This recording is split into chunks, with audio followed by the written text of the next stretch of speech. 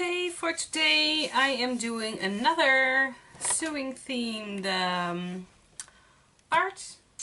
And what I'm using is this piece of uh, brown paper.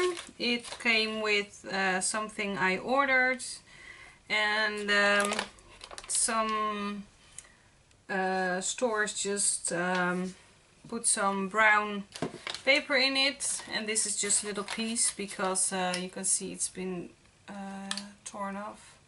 So um, and what I did uh, I think it's it has been showed in uh, previous videos or a, a, previous video is that the excess paint is uh, put on this uh, piece of paper. So I think I will go for this green one and I'm going to um, put it on my card and using um, maybe this um, thread thing or maybe this uh, sewing machine.